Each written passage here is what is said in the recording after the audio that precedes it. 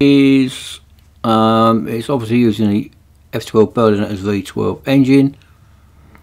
We've got a speed record and you can't go off track for more than two seconds.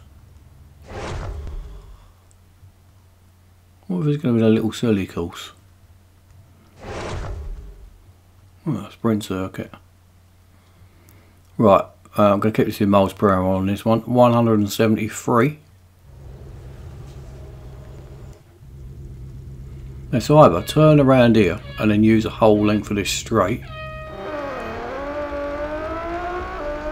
or towards the end of the lap. I'll see what it's like towards the end of the lap. But you can turn around here and then use a whole length of this um, straight here.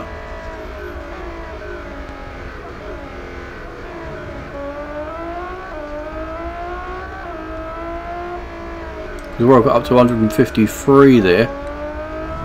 Obviously if you turn around, because that starting position's like halfway down the... Not halfway, but... You've got another probably 100 yards or so. Which would definitely make you be able to do the speed you need. All this is unimportant, you can creep round here like a vicar if you want. It's going to be off of this corner here.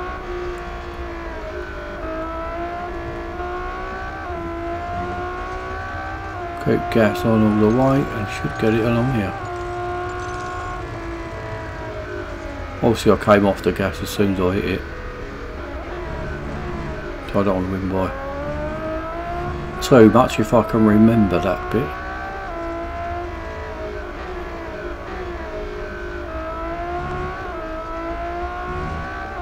See, the starting position is up here, so you'd get a lot, a lot, you know, a big length of straight here if you struggle on it.